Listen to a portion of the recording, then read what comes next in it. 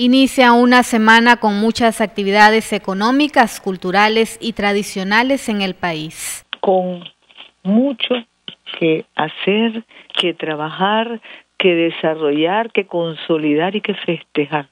La alegría de vivir trabajando, la alegría de vivir en paz, con bienestar, la alegría de vivir en unión para prosperar. El Gobierno de Reconciliación y Unidad Nacional saluda al gobierno y pueblo cubano por el 69 aniversario del histórico asalto al cuartel Moncada, que se conmemora el 26 de julio. La revolución cubana, de esa Cuba libre, soberana, firme y digna siempre, refleja la certeza de un porvenir que entre todas las miserias de los imperialistas de la tierra seguimos creando y enarbolando como bandera invencible de nuestros espíritus libertarios. Se espera que al finalizar este año ya se hayan entregado 12.000 viviendas dignas a las familias. Y del programa Bismarck Martínez tenemos ya más de 40.200